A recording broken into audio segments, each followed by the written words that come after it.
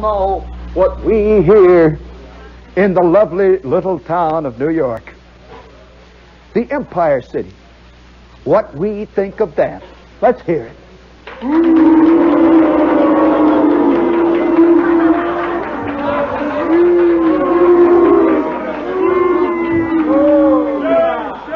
Uh, uh, excuse me, San Francisco. Uh, that does not necessarily represent the views of the management. Unfortunately, you are suffering the results of true democracy, which, as we know, can be a pain sometimes in the you know what. Because when you get democracy, you get a lot of guys hollering. Yeah. All right, now. All right, gang, all together now. Let's send greetings to that lovely metropolis to the north of us here. That bastion of tolerance. That recognized leader of culture in these United States. Boston.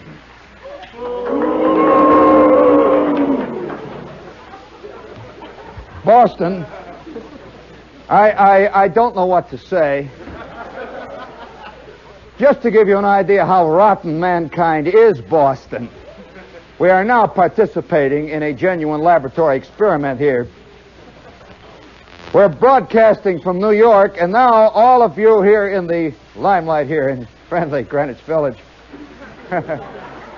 uh, let's give our hometown a cheer and tell us what we think of our hometown, New York.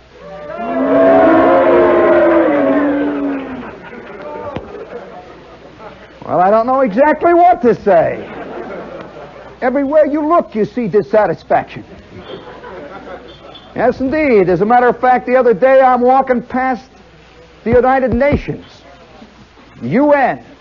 This is the bastion of hopes and dreams. You ever looked at the UN in the bright sunlight? And you know, it stands up there overlooking the East River. And it's all the hopes and dreams of mankind poured into this ugly building. Stands up there and looking down. And you walk past it. And you can, if you can get through the pickets. and the other day I'm walking past the UN, you know, and I'm very innocent. I'm over there on First Avenue and I'm walking along. I see all the flags shining in the sun and the flag poles are banging away there, you know. I'm walking along, and here's a bunch of guys picketing. And one guy is standing right at the head of the pickets, and he's got a beard, he's angry looking. He's got a big sign, and he's walking along, you know, with that, you know, this kind of walk. He's holding it up, and the cars are going past him, and all the klutzes are looking out, and they're reading the sign, you know, and they're driving their they're driving their Mustangs along, and I'm looking at. He's got the sign. This is a picket walk, you know. And I stop there and I look at it. See, I'm trying to get a look at a sign. He keeps going around, and I see all of a sudden what it says. It says, love. And I say, by George. Here's a guy. You know, that's an interesting premise. And so I walk along with him for a while. I look at the sign. He's walking along, and he's looking at me. You know gives me a look. And I say that's a fascinating premise. That that sign is, is based on a premise that he's got it and nobody else has. See, so I walk up to him and I say, hey, Mac, you know, I'm trying to catch up with him. I say, hey, Mac.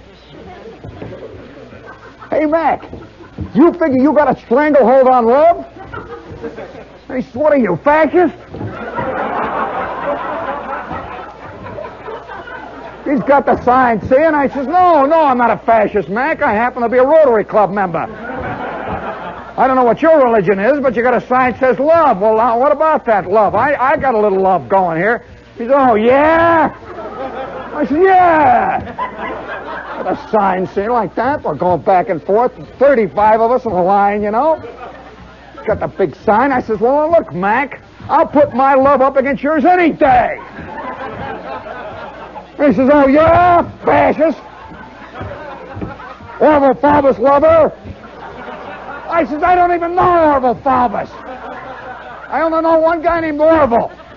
Orville Schmidlapp. Who's Faubus? Smart guy. back and forth. He goes like this, see? And I says, all right, I'll put my love against yours any day. He stopped. He's a smart guy. Woo! Down I come. And then I realized he had more love than I did. I was unarmed. But these are great moments in mankind's revelation. You know, you begin to understand things after a while, and you begin to understand that inside of each one of us, down that little backbone we got, there's all kinds of wires. And each one of those wires carries another message. And nobody knows exactly the nature of what these messages are. The perceptions, the feelings, the passions, those things that go to make up this magnificent creature, the human being. I, I wonder if, if we could somehow understand it, if the, if the squirrels have pickets with little signs that say love. If we could read the signs. well, I happen to know something about old Shep. And I'll never forget, you know, we, we, we watch we watch these. How many of you have watched dictators? You know, you see them on the screen. Hardly anybody ever sees a dictator. You ever really seen one? You see them on the screen. And you'll see this little flickering image. And then you'll hear Huntley Chinkley. What, what's his name? Brinkley Kunkley? You know, these two account executives that give us the news every night. And Huntley says today, today, uh, Dave, David, hi, Dave. Uh, today, Dave, uh, Premier Castro of Cuba addressed the Cuban people. We have a film here of him about to make a statement. You see this fantastic bearded face.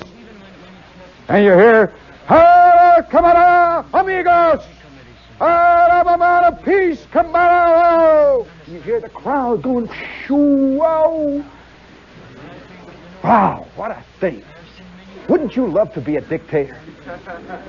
I mean, seriously, wouldn't you like to stand up on the on a balcony? And there down below you, one million people. Little tiny grains of sand, stretching all the way to the horizon. And there you are. Charlie Applerot. And your picture's on every postage stamp. And underneath it it says, Il Benefactorissimo. Our benefactor. Me, Charlie. Yes, sirree, Bob. Well, we sit here and laugh, see, because we don't think it's in us. Let me tell you what happened to me one time. The only time I've ever had that sense of being a genuine dictator. Fantastic power. Now, the only place where most of us, in the ordinary workings of life, will ever get a taste of this is in places like the Army. Hear the ex-second lieutenants laughing in this crowd? Each one of him regretting the days that he took those bars off and went back to the mail room.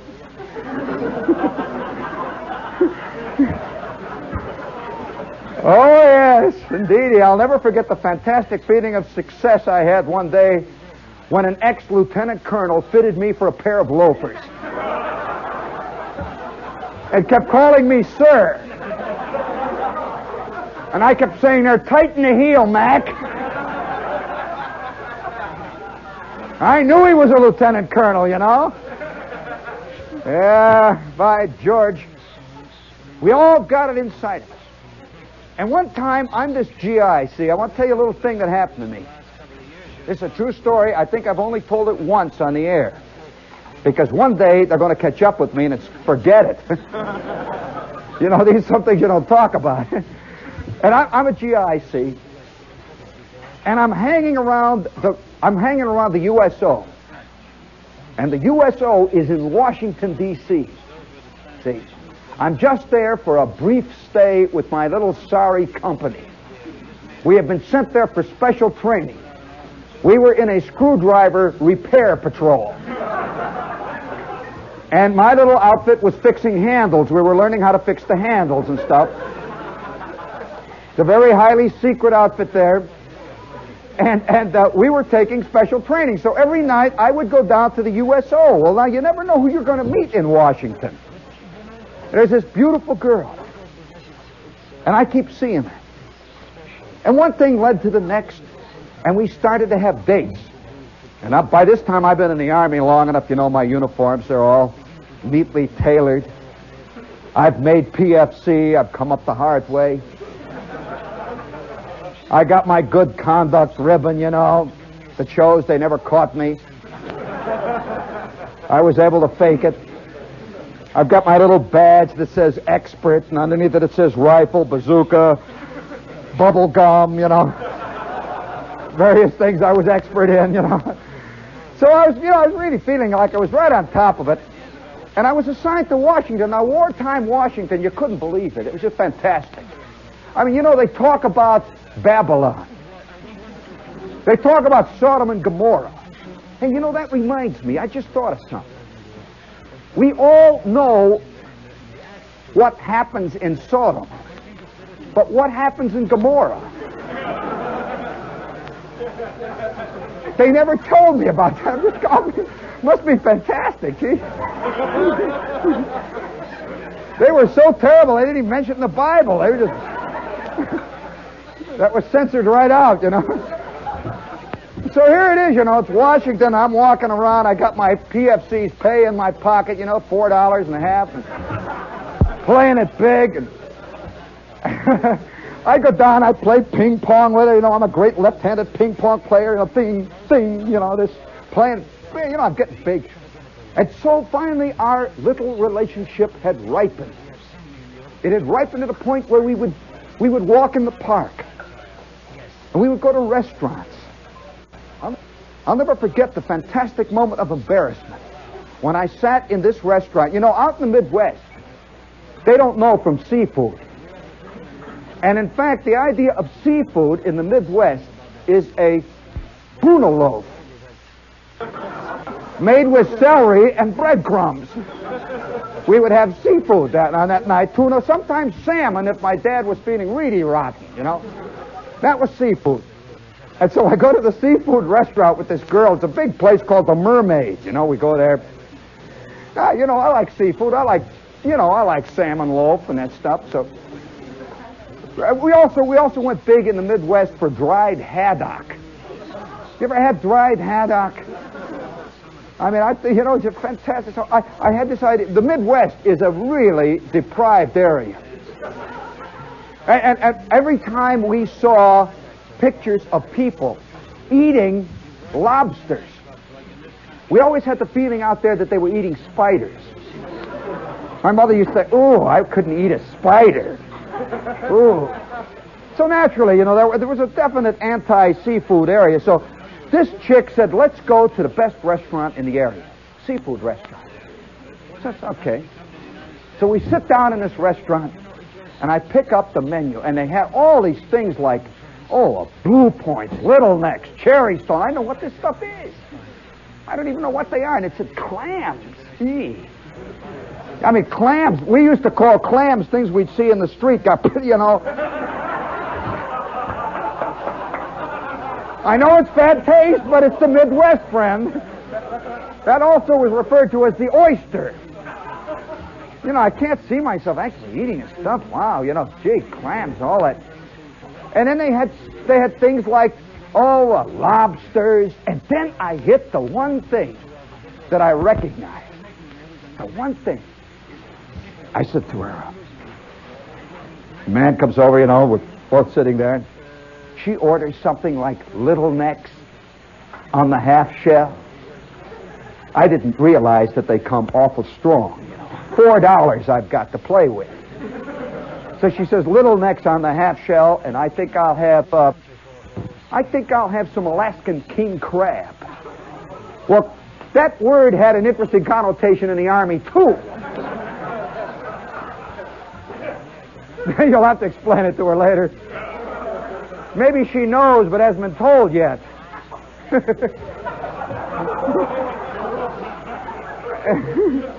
Quit hissing, will you? I'm sorry, honey. I can give you a prescription. It's all right. so, so I'm sitting there at the table, and they've got this big menu, you know, and, and the man's waiting for me to order, and I, there's one thing I recognize scallops. I said, I'll have some scallops.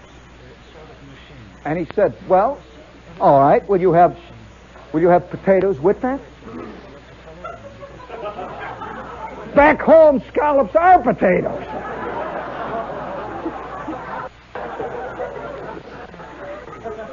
Already I'm backing up, you know. I said, I'm ad libbing. I said, well, um,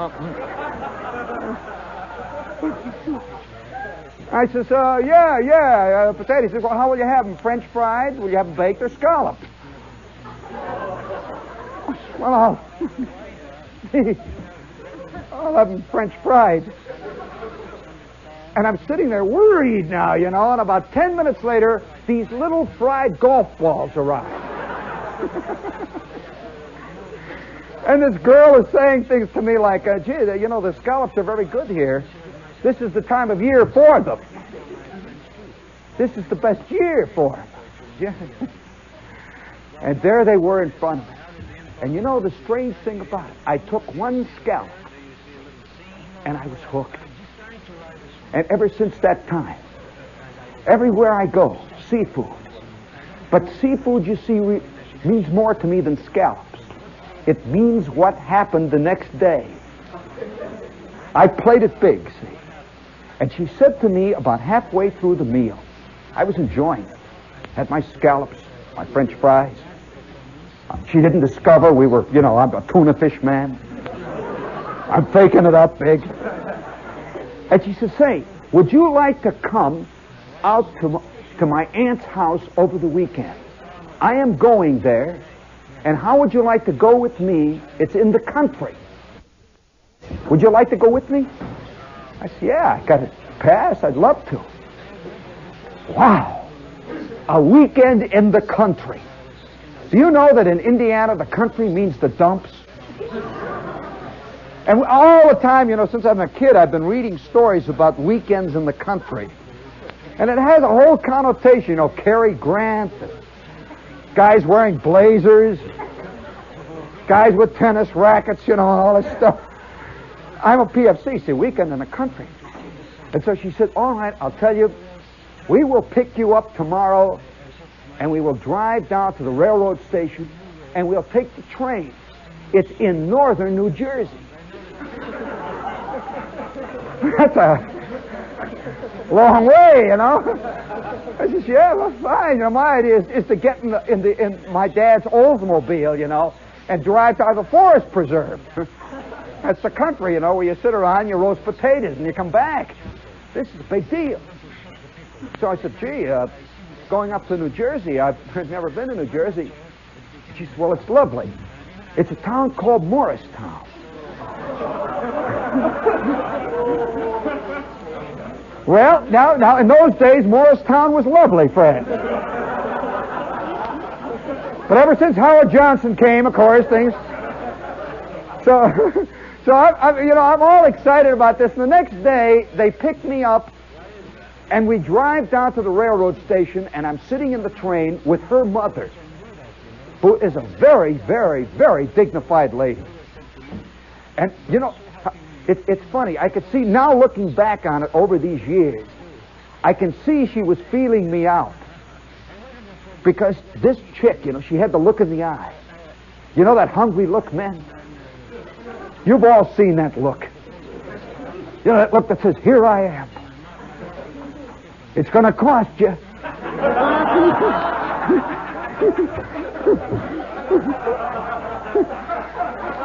like it's going to cost the rest of your life, you know. And she had that look, see, and, and the mother sensed it. You know, there was this whole big thing going. We're sitting in the car there, in the, in, in the train. We're opposite each other in the seats.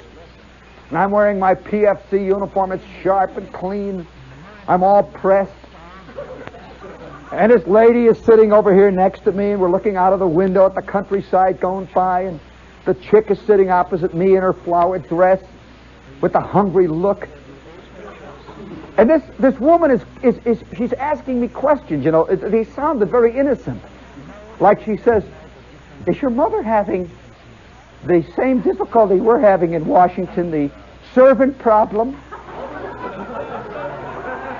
Now, that sounds like I'm making it up. She honestly asked me if my mother was having a servant problem. Well, I don't know whether you know my mother. If anything, my mother was having a slave problem. And she was it. you know, and, and, and, she says, Is she having a servant problem? And I said, Well, it's not as bad in the Midwest. I knew it was a loaded question. I didn't want to say yes. I didn't want to say no. I could see the quicksand up around my ankles already, you know. So I said, Well, we don't. we, uh, my mother just doesn't tell me about what hell it is on the home front, you know. Doesn't write about those things, but I guess she must be having troubles. She was having troubles. Every night she would have to go and help to ring Mr. Bruner out. You know, the worst thing that happened to Mr. Bruner next door to us was the war came on and he had to go to work. And it's not easy to work when you're drunk. So they would ring him out for the war effort every night, see? So that was my mother's chief problem. So we rode on and on, and this lady is saying nice little things to me all the way. Saying things like, uh, Do you like the Army? Well, I didn't know what to say, see, because I was funny looking at her eye, and then she says, You know, we come from an Army family. An Army family. I guess, you know, I says, Well, so do I, you know like I'm a PFC, and my brother just made T5. I guess we're an Army family. My old man's been running away from the draft for the last year and a half. He's developed a fantastic limp, and he keeps one eye closed and all that, you know. so I said, yeah, well, it's Army family. So we go on and on in this little casual conversation, and she's getting kind of to like me. I can sense that, you know. She, she senses the buffoon, you know. And so we're going a little further on. And we come now to Morristown, New Jersey. And we walk off the train, and it is one of those beautiful days that Jersey has once every 15 years. Yeah, it was a beautiful day. The sun is shining. And we step out on the platform. And I had come from the Midwest Remember that. And our idea of suburbs is just where the used car lots begin. Those are the suburbs. Endless miles of used car lots and junkyards, vacant lots, and once in a while a little gray house in the middle of it, the big gas tank. Those are the suburbs. And I didn't know that suburbs had trees. And you know, I, I was amazed. I got out and here the trees. It's a beautiful town. I could smell the air. It was clean and magnificent. And we walked through this tree-lined street.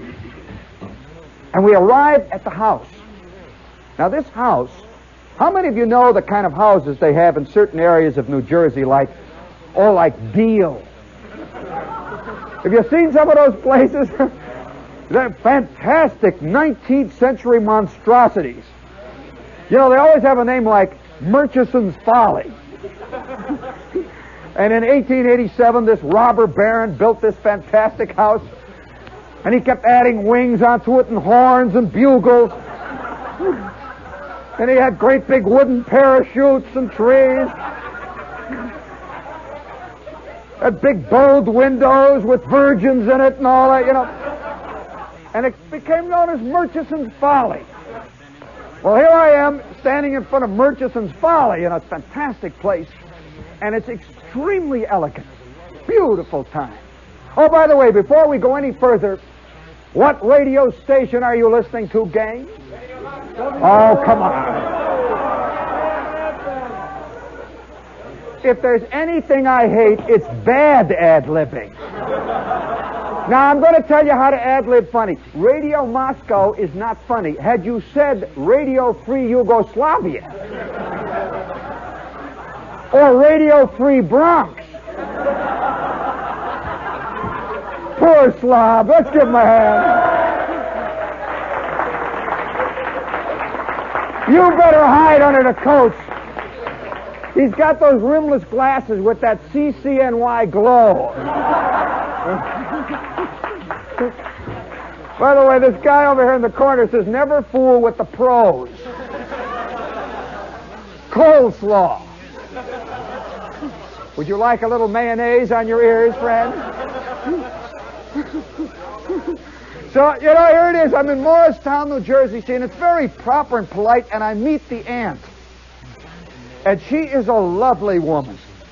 Really lovely. You know, she's the kind of lady that was married in the movies that I used to see to Lewis Stone. Do you remember, do you remember Andy Hardy's mother? She's kind of Fay Bainter cubed. This lady, she's got a motherly, gentle, very, very, oh, civilized quality to her. See? And so now we're sitting at her, her table. First time in my life, we are having a dinner that is served by servants in Morristown, New Jersey. You can hardly credit your senses.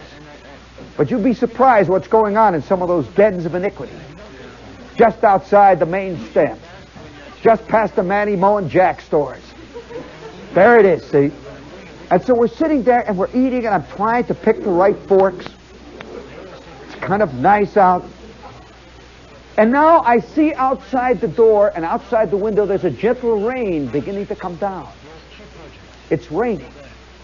It's a soft summer day. The rain is coming down. And it's getting a little tough, you know. The rain is coming down harder and harder.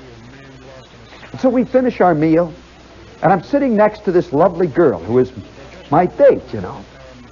We're sitting there. And here's her aunt, and there over there is her mother.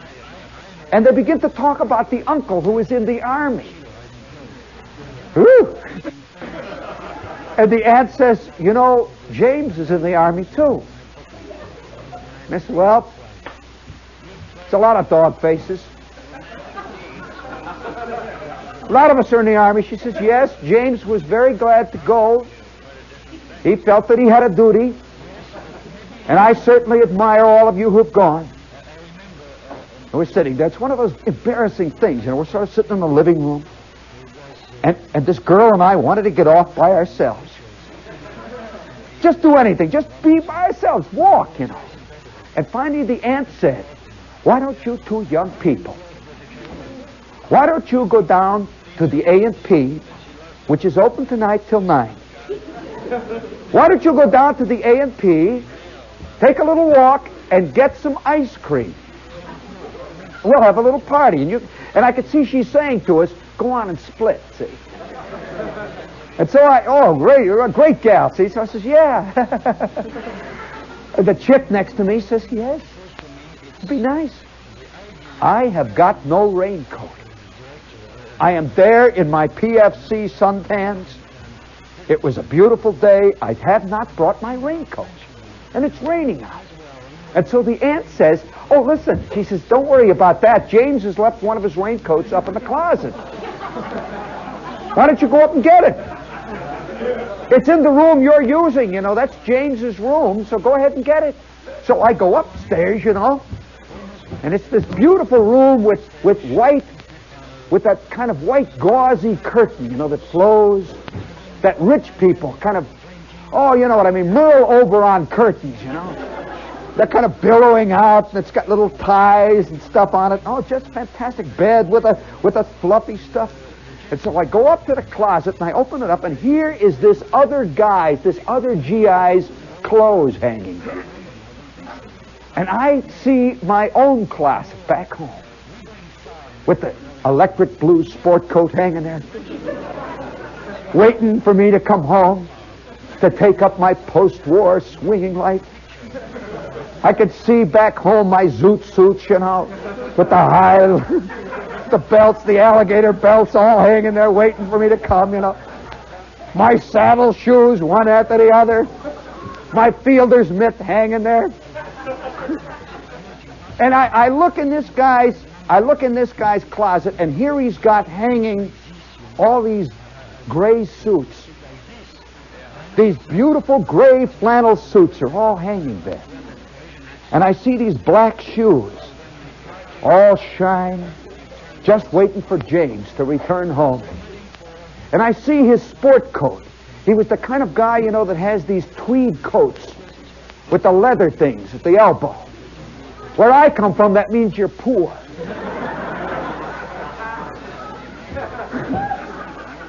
Somehow that coat didn't look worn, you know, but it had things, leather things. It had little twigs growing out of it, you know. And then there was a there was a jacket, there was a blue jacket. I'll never forget this. It was a blue jacket with little silver buttons. And it had over the pocket here a big shield with a horse. And underneath it there were Latin words. You know, like in the hoc and bricula conch, in est equitation clunk. You know, he was a he was a horseman. I look in there and I could smell the leather and this beautiful clothes coming out. And way over on this end, there is hanging an OD raincoat. A full-length OD raincoat. And I take the thing out, you know, I put it on. It's just about my size. He's exactly my height. I put this thing on. It's, you know, it's just an old D raincoat. It's, it's got a kind of a funny feel, though. It's got a belt. Mine never had a belt. I put the belt around. I stand in front of the mirror and I look. Instinctively, I snap to attention.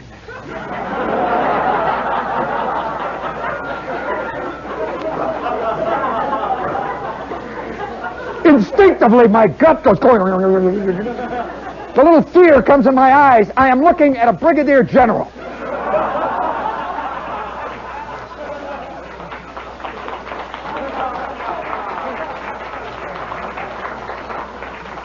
I had not noticed on the on these little on these little shoulder straps there are sewn sewn get it two little embroidered silver stars one on each shoulder well I had my GI hat you know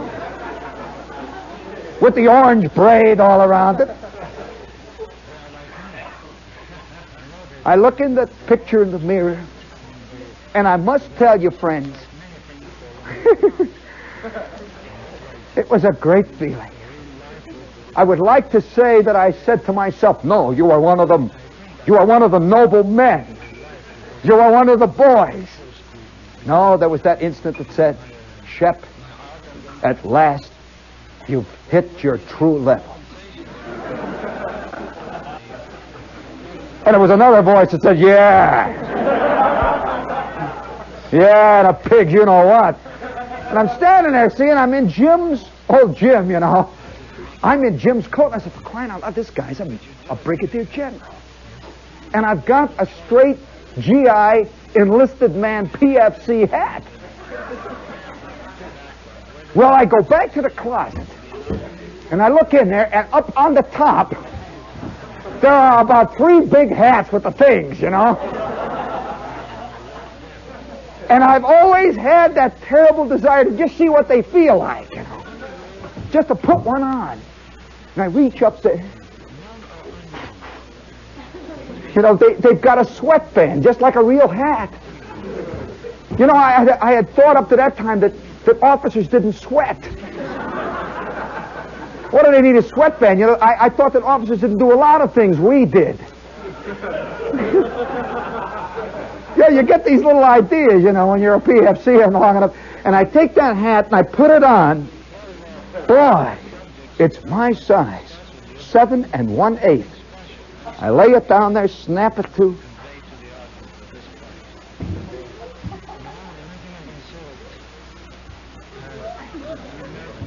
I am practicing giving an officer's salute. you know, just a little that's a general salute. You know, that's, that's look, and I'm, I'm walking around in front of this full-length mirror. It's raining out. And downstairs, I hear the girl calling up the stairwell. She says, let's go, it's getting late. Now I had a decision. What to do? Well, I did it. I am now downstairs. Stars. Eagle. Underneath PFC.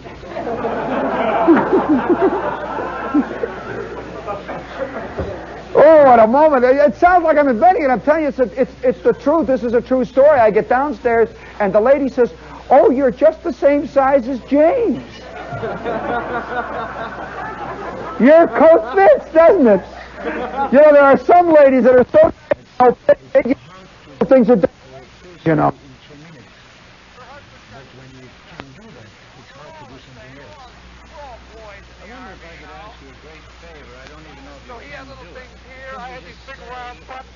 You know? that say yard bird on them, you know? she said, it looks very nice. And I says, well, you don't mind if I wear Jim's hat, do you?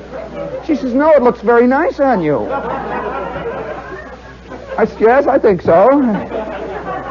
And, uh, this girl, she doesn't know from nothing, you know. She's, she's a USO girl, so she's nice. A true debutante type, you know. So now we are out on the street. It's raining. It's drifting down. And I am surprised to note that officers' raincoats work. Which was a twist. I had never seen a, a, an army raincoat work. My raincoat was like a sieve, a strainer. It just strained out the bigger lumps of crud, you know. It filtered the water that came in on you. So this is a great raincoat. I'm walking along the street, you know, with Effie. She got her hand. I'm like, you know, we're walking down under the trees. And it's Morristown. I, you know, it's, it's a quiet town. I figure there's nothing going to happen. It's just going to be one of those great moments. We're on our way to the A&P. I mean, a brigadier general going to the A&P. See? well, they eat for crying out loud. They eat too. I mean, they got to go and eat and do all the stuff. So I'm on the way to the A&P.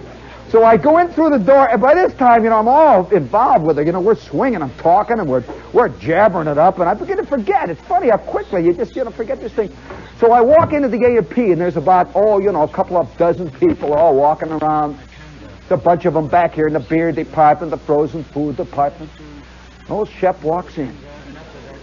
And you can hear the music coming out. You know, they got a record player. I walk in there. I'm looking at the cheese. She's trailing behind me, and I'm whispering little words of love in her ear. See? we recognize this is the only time we're going to get a fish. And so back over there in the baked ham department, back in the delicatessen division, I'm getting real close to her, see? And I say, hey, baby, how about later and she goes, and I noticed this guy, I noticed the guy back there with the slicer. He's looking. This is the first time he's seen a brigadier general trying to make the scene.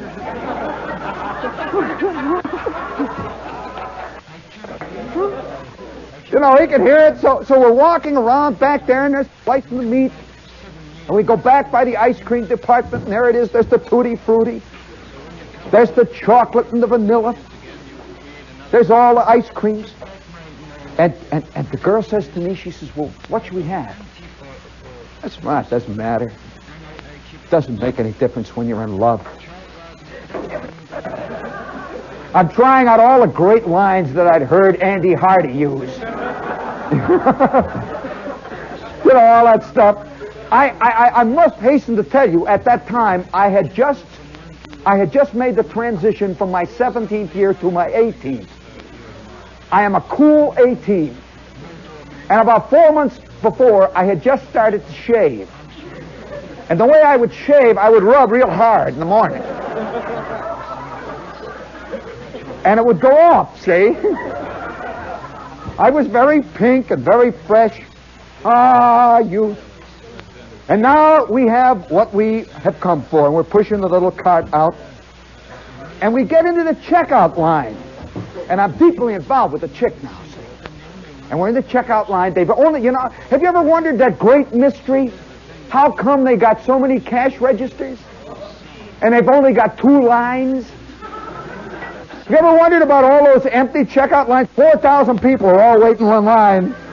And, and there I am. See, I'm in the line. I walk up to the end of the line, and I see this GI. He's standing there, and I walk up, and I'm turning around to talk to the chick, and I look back again, and he snaps too. He says, Yes, sir, yes, sir. Here, you can have my place in line, sir. Yes, sir. Thank you. Thank you very much. Soldier. I have moved up one notch, you know, and he's standing back there looking. This is the youngest brigadier general he's ever seen. This was a staff sergeant who was at least 40. You know, a regular army man, you know, RA. But there I am standing there with my two little stars twinkling my pink cheeks glowing. And little old ladies are turning, you know, they say, oh, how are you? And now I am back, I am, I am, I'm up to the counter, see, and, and the kid is standing back there and he's ringing them up. And he's got another guy that's bagging the stuff. And he takes one look at me and he sees these two stars. And he leans forward and he says, General, sir, I'm going to be drafted. Are there any strings that you could pull for me?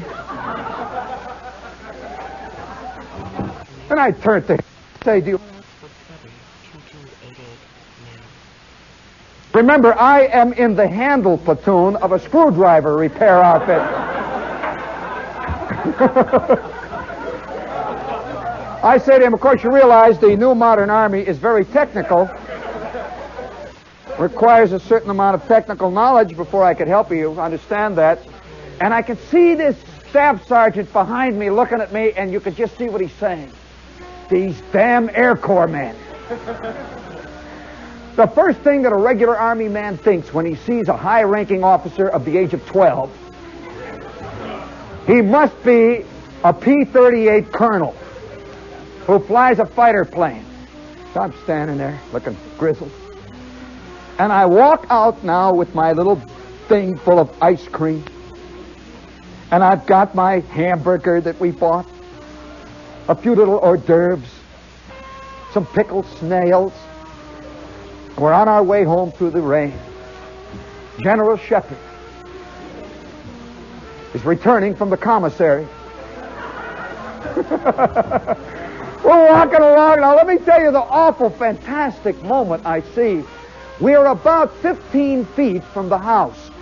And I figure I'm going to make it clean. No harm done. No. Just, I've just given everybody at the A&P a cheap thrill. I've given this staff sergeant a story to tell the guys back in the infantry for the next hundred years about this four-year-old brigadier he saw.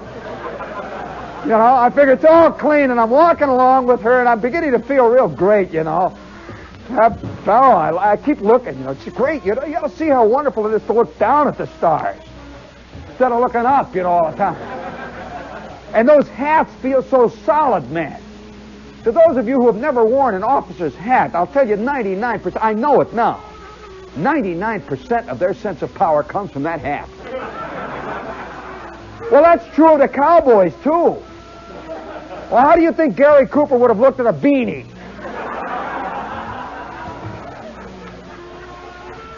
I mean, hats are important, you know. And all they had given me to wear was this little piece of cloth with a little thing on it, you know. But now I've got a big hat that goes up like that. Big stars all over and big eagles shining. And I'm walking along. Now you got to see.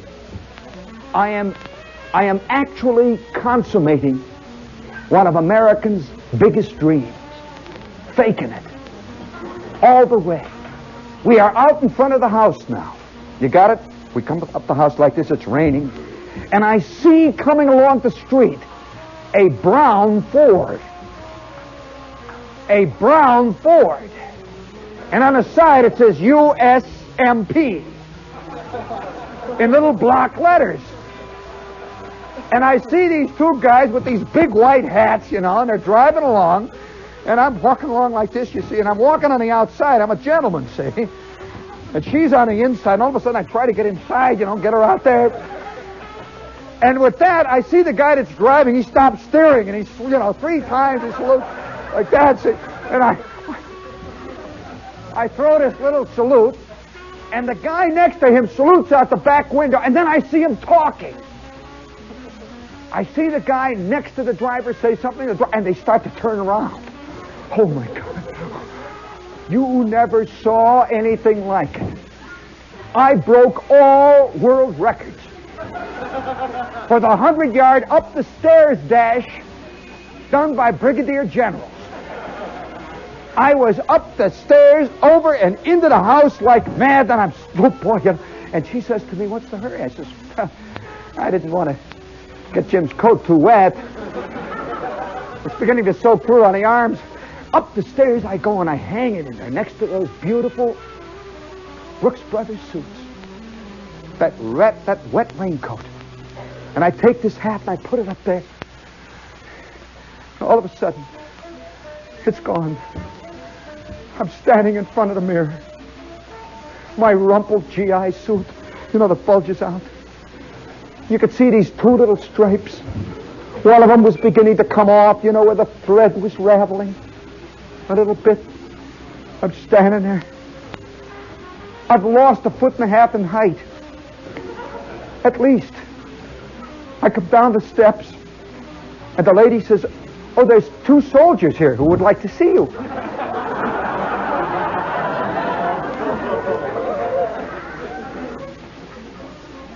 And I said to the girl, I says, look, quick. She's on the steps with me. And I says, listen, we haven't been out of the house in a week, got it? we haven't been out of the house in a week. And she says, yes, all right, all right. And so we go down the stairs, and here are these two guys, you know, they're with the big white hats, with the armbands. The guy looks at me. I look at him. I said, what do you want? He says, we'd like to see the general. I says, the general? Oh, you're not looking for me. Uh, Mrs. Mergent, uh, they want to see your husband. And she says, oh, well, I'll have to tell the boys. And she goes to the door and she says, well, my husband, you see, is overseas.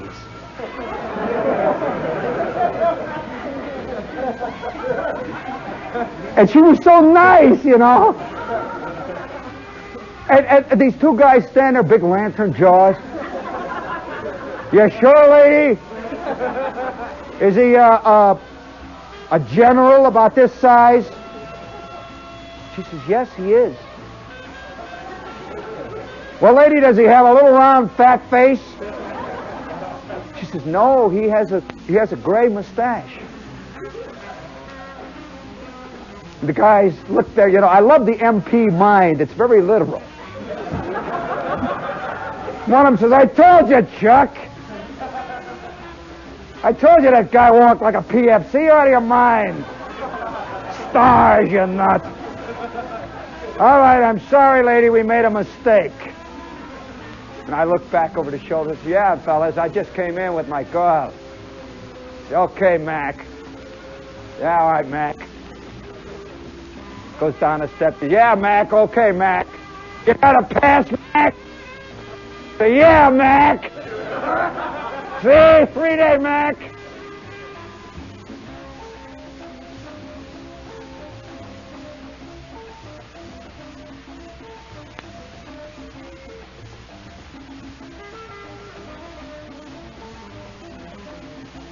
Jim had sat.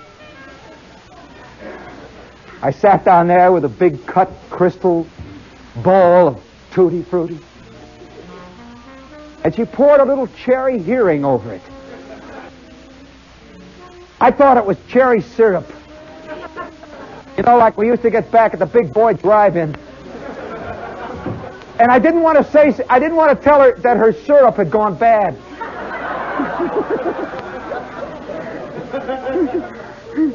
and I'm boning it up, you know, I'm sitting there.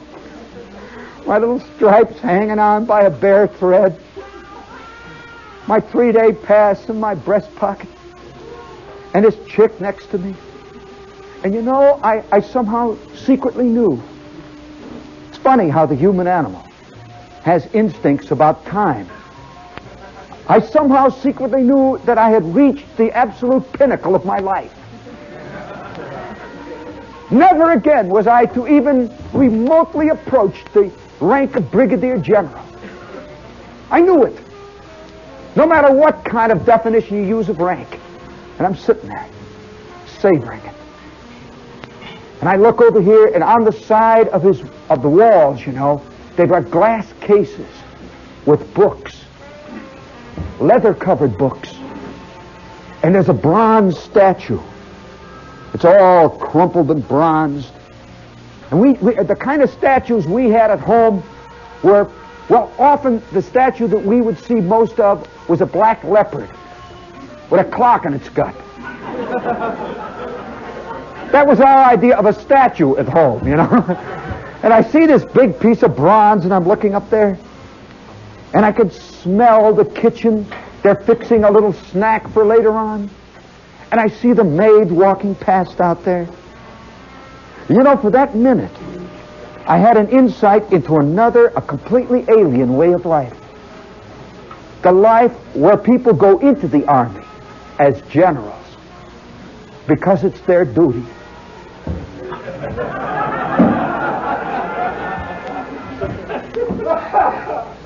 And here I am sitting on this French love seat. I'm a representative of the rest of the population. We go into the army because they're biting at our hocks. we go into the army because a letter arrived that says, Dear friend, your neighbors have elected you as being it.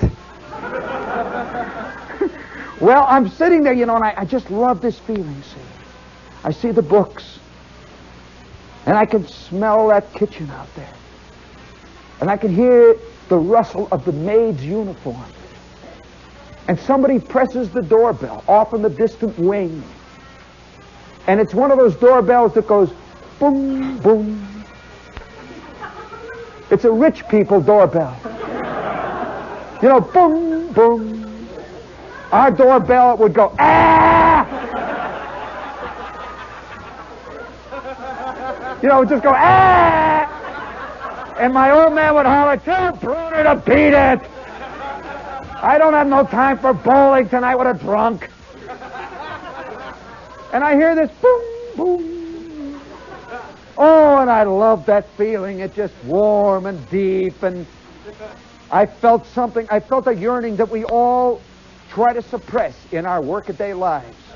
Inside of each one of us, believe me, there is a latent dictator, a latent brigadier general, a latent, rotten, spoiled aristocrat. And we never, ever get a chance to achieve it. And so we go through our lives pretending that we've chosen to remain one of the boys. You know, for years I've been saying to people, oh, I didn't go to OCS, I just want to be a, one of the boys.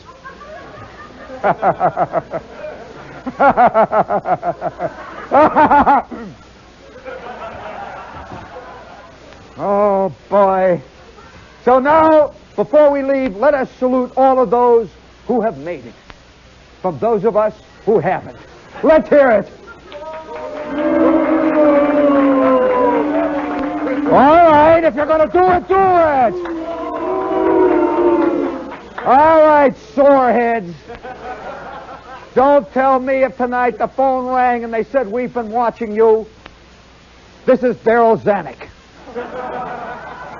and we'd like to do your life story with Cary Grant playing it. You'd love it, wouldn't you? A girl